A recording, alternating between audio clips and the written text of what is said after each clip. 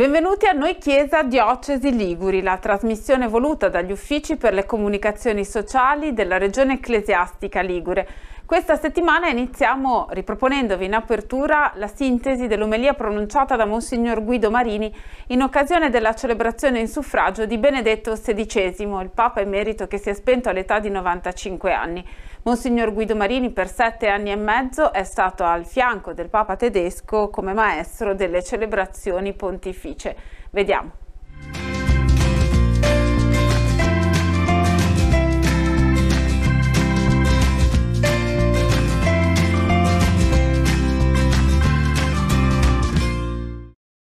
Un pastore grande, nobile, moderno, parole che rivelano la stima per Benedetto XVI. A pronunciarle in cattedrale a Tortona è Monsignor Guido Marini, per sette anni e mezzo al fianco del Papa tedesco come maestro delle celebrazioni pontificie. Mi piace pensare a lui, dice scavando nei ricordi, come ad un profeta di salvezza e di bellezza. Preghiamo anche perché un giorno presto egli possa essere dichiarato dottore della Chiesa. Il vescovo di Tortona passa in rassegna i punti di questa eredità. Papa Benedetto spiega ha insegnato la bellezza della fede, di un Dio amico e alleato, estrometterlo è il grande dramma dell'uomo di oggi. Ha anche insegnato la bellezza della ragione che si apre alla fede. E ci ha aiutato e ci aiuterà a non incorrere in quel temibile errore che è la ragione chiusa in se stessa, motivo di ideologie perniciose, come le tante che sono presenti nel nostro mondo e che possono essere riassunte nel tentativo disperato e destinato al fallimento da parte dell'uomo di essere lui il creatore di se stesso. Prosegue Marini, Papa Ratzinger ha insegnato la bellezza della verità, che è Gesù, unico vero protagonista della nostra vita, e infine conclude in modo mite e dolcissimo, con quei suoi occhi luminosissimi e profondi, ha insegnato la speranza e la libertà. È per questo che ha avuto il coraggio e la forza di ritirarsi, per la libertà nel servizio, per la libertà da ogni forma di potere, per la libertà del cuore che non ha messo mai se stesso al centro. Ora andiamo a Savona dove la teologa Cristina Simonelli, presentata ed introdotta dal teologo savonese Giuseppe Noberasco, ha tenuto una conferenza nell'ambito del Sinodo diocesano sul tema Le passioni della fede.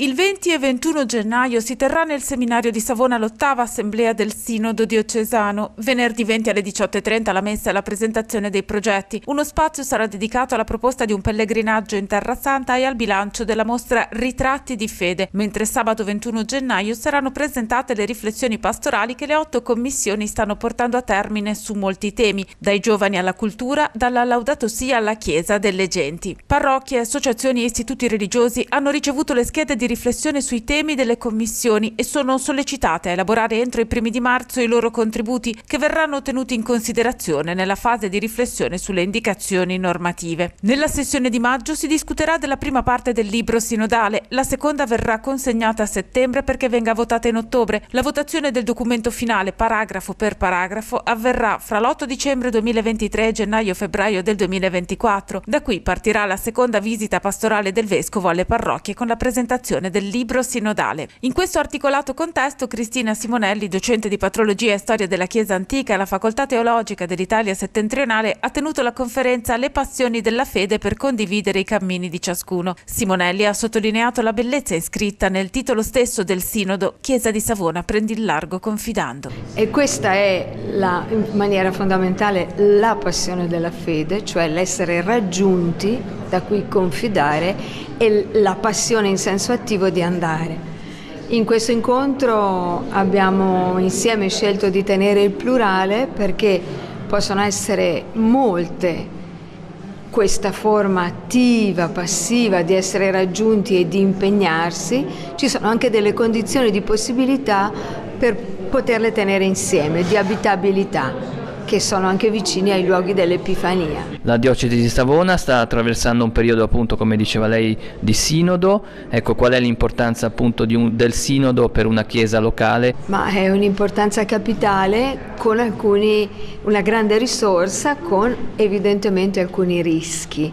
I rischi sono quelli di un superlavoro, i rischi sono quelli di dare stanchezza ripetendo cose simili, ma in compenso l'occasione grande, cioè quella di essere e sentirsi effettivamente una comunità tutta in cammino, tutta convocata, tutta provocata e anche, se vogliamo, consolata, perché anche le difficoltà, se vissute sulla stessa strada da cui sinodo prendono un'altra, un'altra, dimensione. Questa mattina invece ha tenuto una lezio magistralis per il clero diocesano, eh, il tema è stato la fede del prete, insomma eh, quali sono stati diciamo, eh, i riscontri avuti da, da parte dei sacerdoti eh, alla sua conferenza. È stato un incontro estremamente affabile e abbiamo scambiato opinioni, risonanze, anche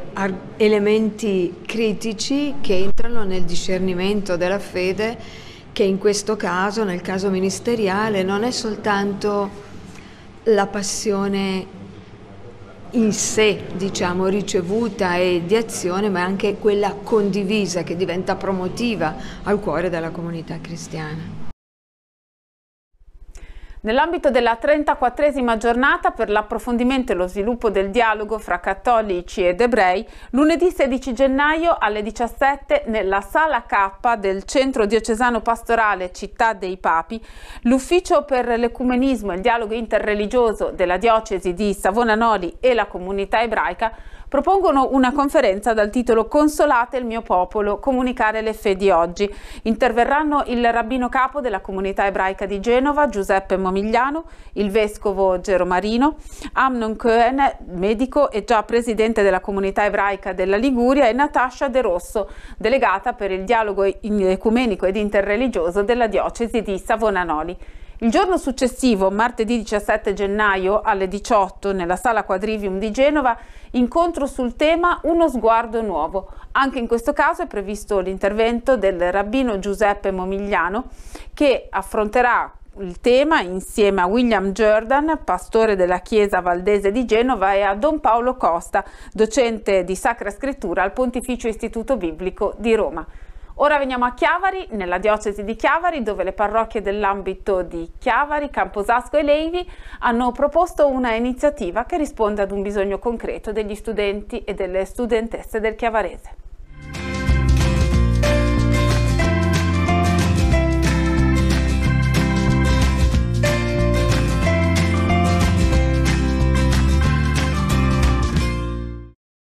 Uno spazio libero dove mangiare il panino portato da casa o la focaccia comprata in pausa pranzo. L'ingresso è totalmente gratuito, non è necessario nessun tipo di iscrizione, non è uno spazio, un momento religioso. È l'area picnic che aprirà lunedì a Chiavari, all'oratorio dei Filippini, con ingresso su via Raggio. Nasce dal vedere i ragazzi che durante la pausa pranzo mangiano per strada sulle panchine, sulle scalini, sotto il pronao della cattedrale. L'idea, la prima in assoluto in zona, è venuta alle parrocchie di Chiavari, Levi e Camposasco con l'aiuto della pastorale giovanile della diocesi. Sono parrocchie riunite nel medesimo ambito che da tempo collaborano insieme per varie iniziative pastorali, tra le quali anche questa.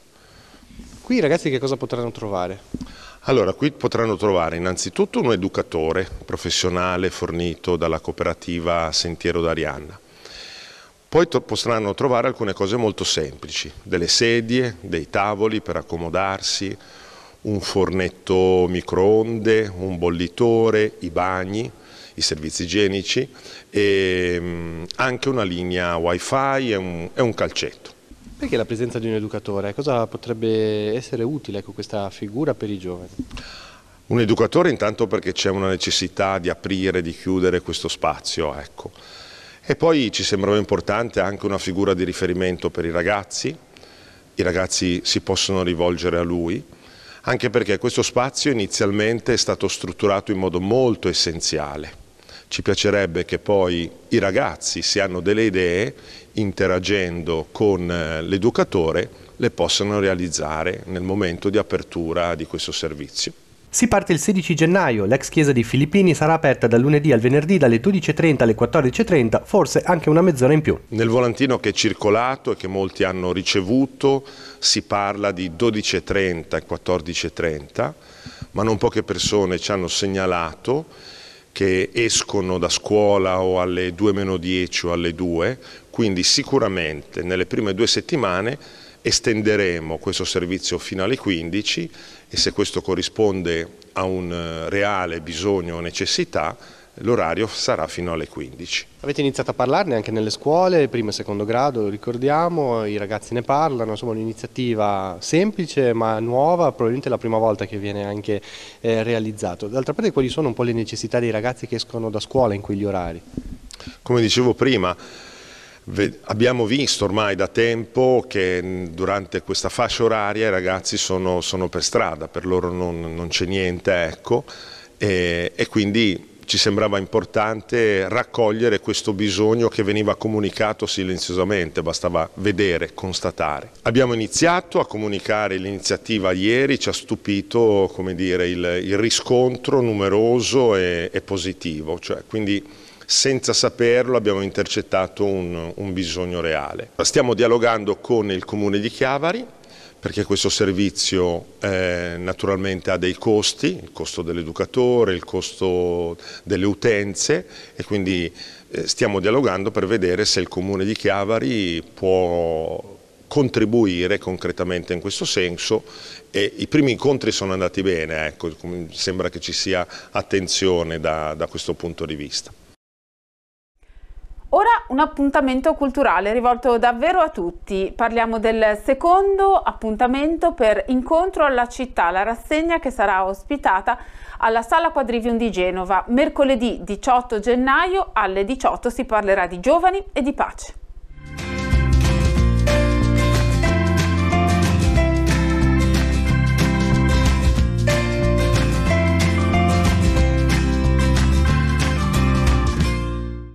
Educare alla pace è ancora possibile, i giovani e la speranza è il tema scelto per il secondo appuntamento del ciclo Incontro alla città, in programma mercoledì 18 gennaio alle 18 alla Sala Quadrivium a Genova. Relatori saranno il pedagogista Daniele Novara e il condirettore della Caritas diocesana di Savona Don Adolfo Macchioli. Incontro alla città è un'occasione di riflessione che la Chiesa che in Genova vuole offrire alla cittadinanza, indipendentemente dalla fede dei partecipanti, facendo seguito alla lunga e felice esperienza di cattedrale aperta che per 12-13 edizioni ha accompagnato la riflessione annuale della nostra comunità diocesana.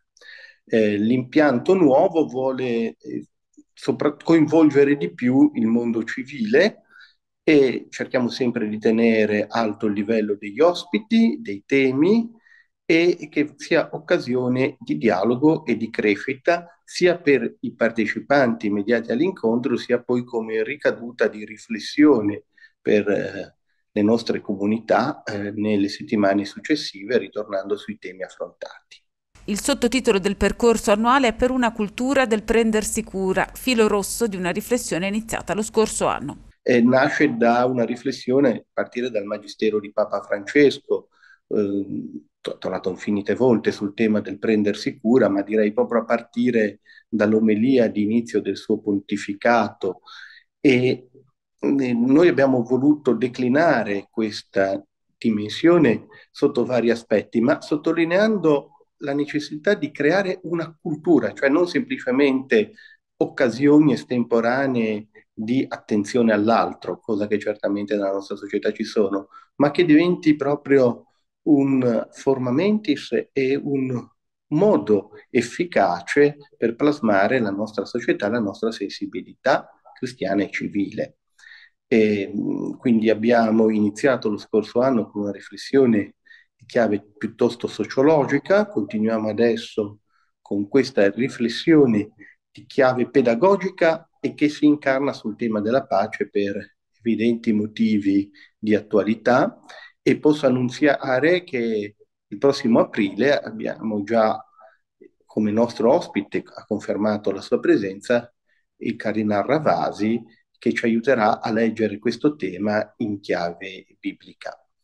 In autunno poi pensiamo di continuare, probabilmente anche toccando eh, tematiche di ordine psicologico e medico. Il tema scelto per l'incontro del 18 gennaio è quello della pace, declinato secondo un'accezione particolare, la cura per l'educazione dei giovani, in un contesto di ipersemplificazione che talvolta scarta l'impegno come presupposto per percorrere tappe successive, il che assume un valore ulteriore nel cinquantesimo anno dall'approvazione della legge che legittimò il servizio civile quale alternativa al servizio militare. Emergerà soprattutto come la pace, una cultura della pace sono da un lato un'espressione di prendersi cura autenticamente dell'umanità e dall'altro che il prendersi cura invece dei nostri giovani, un'attenzione pedagogica autentica, eh, deve tenere conto di questa dimensione e di aiutare a sradicare quelle radici di violenza che sono certamente nel nostro cuore ferito dal peccato, ma che in questa società rischiano di alimentarsi in una maniera anche molto, come dire, superficiale. Eh, discorsi intorno alla guerra, all'armamento, al, rischiano di essere fatti in una maniera molto emotiva, di pancia e talvolta di propaganda. Credo che avremo dei buoni anticorpi per la nostra riflessione dopo questa serata. Riflessione chiamata dunque a fiorire nell'ottica non solo e non tanto di fornire una serie di buone pratiche per accompagnare giovani e giovanissimi lungo il cammino di costruzione della pace, quanto piuttosto di avviare processi offerti alla comunità civile ed ecclesiale. La nostra anche fisicamente il fatto che non facciamo più gli incontri in cattedrale non è per diminuire eh, l'identità cristiana del, nostra proposta, ma per dare un senso di accoglienza e di appunto andare incontro a chi potrebbe avere delle prevenzioni altrimenti e dare, suscitare appunto un processo di riflessione, di maturazione, di incontro, di dialogo a tutto campo. Spero che questo che è già avvenuto continui ad avvenire e si sviluppi ulteriormente.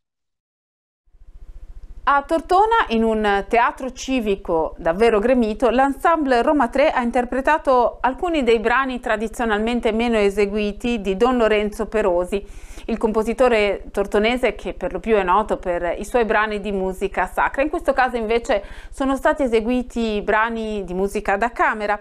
Il concerto ha coronato e concluso il Perosi Festival 2022, ma è stato anche l'occasione per presentare alla città una nuova collaborazione in ambito culturale. Vediamo.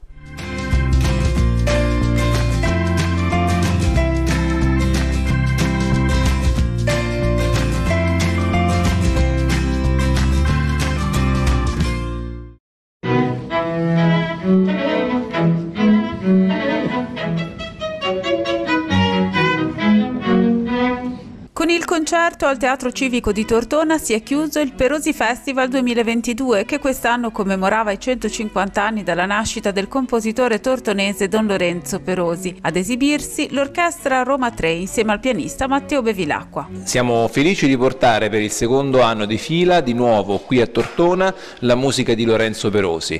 Grazie a quest'autore abbiamo registrato i primi nostri due album con l'etichetta Naxos, l'anno scorso i quintetti numero 1 e 2 e quest'anno il terzo e quarto quintetto insieme all'integrale della produzione per trio. È una bellissima occasione, felice di essere nella città che peraltro ospita i resti del maestro Perosi e speriamo che questo progetto con la città di Tortone e con Naxos possa proseguire anche per i prossimi anni, tenuto conto anche della bellezza del festival dedicato a Perosi che proprio in questa città trova luogo. Soddisfazione è stata espressa dal direttore artistico del festival, Don Paolo Padrini, che è già al lavoro per la nuova edizione del 2023. Siamo onorati eh, di essere qui questa sera per questa serata finale del Perosi Festival 2022.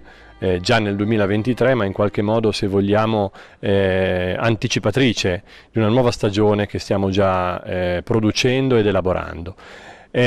Un concerto, è stato un concerto molto bello, eh, ricco e ricco soprattutto delle, della parte del repertorio perosiano eh, che po- pochissimo, pochissime volte viene ascoltata eh, e noi siamo onorati di averla potuta proporre al numerosissimo pubblico presente eh, in questa serata con eh, un complesso musicale così importante eh, quale quello che è stato ospite a Tortona.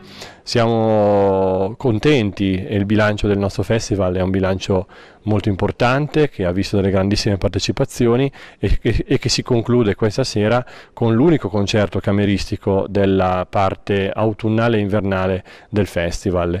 Un, concerto, un festival dedicato alla musica sacra eh, che però in qualche modo non è, non è discordante rispetto a quanto, a quanto questa sera abbiamo ascoltato. Musica cameristica che però trova in Perosi un eh, interprete eh, di cuore e di spirito che fa passare in ogni nota la sua spiritualità e la sua fede. Il concerto conclusivo del Perosi Festival 2022 ha suggellato l'avvio della collaborazione con l'archivio Felice Giani nel duecentesimo anniversario della morte del pittore e decoratore di interni italiano fra i massimi esponenti del neoclassicismo. Nel corso della serata è stato proposto un cortometraggio di Sara Bertoni, laureata alla scuola di cinematografia Luchino Visconti, con letture musiche di Raffaello Basiglio, laureando alla civica scuola di musica Claudio Abbado. Il corto è stato prodotto dal nostro studio perché vogliamo dare comunque un segno tangibile, una presenza nel panorama eh, della, dell'arte eh, dei nostri grandi artisti. E questa serata sono anche veramente emozionante, la prima volta che mi scrivo delle cose, perché normalmente sono prolisso e quindi parlo delle ore. Questa sera sono veramente emozionato perché questi 200 anni li ho sentiti e glieli dedico veramente di cuore. Terminiamo così il nostro appuntamento settimanale con noi Chiesa, il nostro viaggio alla scoperta della vita delle diocesi della regione ecclesiastica Ligure. Grazie per averci seguito, ci rivediamo la prossima settimana.